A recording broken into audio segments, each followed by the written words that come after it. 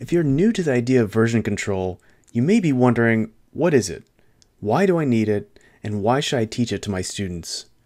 On the other hand, you may know what version control systems are, but you may be wondering, why should I use Git? In this video, we'll answer those questions by going over the concept of version control.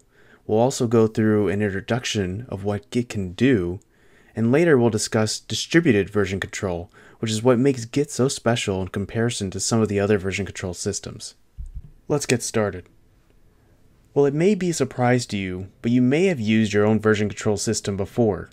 In the past, you may have saved many versions of a paper. First draft, second draft, third draft. Version control is simply just that, a system that maintains multiple versions of files or a set of files over time. Similarly, when writing code, you would like to save many versions of your work. There are a wide variety of issues that could possibly occur when you're writing code. You may accidentally delete something, or you may break your code with some changes you made. Version control systems will come to the rescue in situations like these. Here enters Git, which is a distributed version control system. More on the meaning of a distributed version control system later, but Git is a version control system that can record snapshots of your work over time but you specifically choose when to take those snapshots over time, much like you would have done if you were saving drafts of your paper. You might be thinking, well, if Git does something that I could have just naturally done on my computer by saving different drafts of a document, then why should I use it? Well, Git does so much more. Git could not only have helped you save drafts of your old school paper over time, but it could have helped you manage these different changes while you were writing that paper. Git creates an organized historical record for you. It allows you to not only take snapshots of your file over time, but can also reset the contents of a file to a previous version using this historical record. Now, if we step away from our paper example and think about how Git can be of use in the world of writing code, then Git becomes an invaluable tool. Git will manage all of your snapshots of all the files you might have in a project so that you can revert back to any version you want if something should go wrong.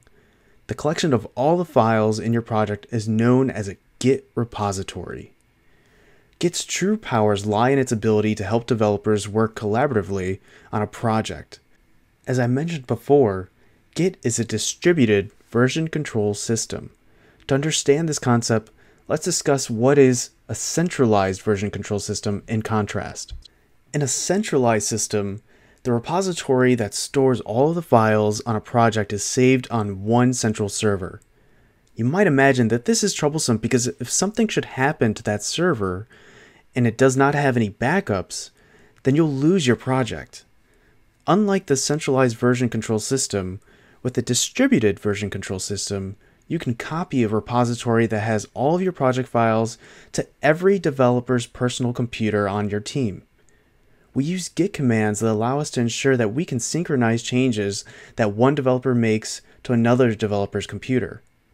If anything happens to one developer's repository, there are potentially other developers who might have the code, or if they're smart, these developers could have their repository stored on GitHub to allow collaboration to be seamless. Before we get ahead of ourselves in regards to Git commands and GitHub, let's go ahead and stop here.